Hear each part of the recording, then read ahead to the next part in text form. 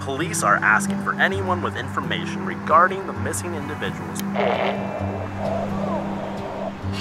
Republicans and Democrats just need. Today's forecast for Cheatham County is cloudy with scattered thunderstorms with a high of 55 degrees.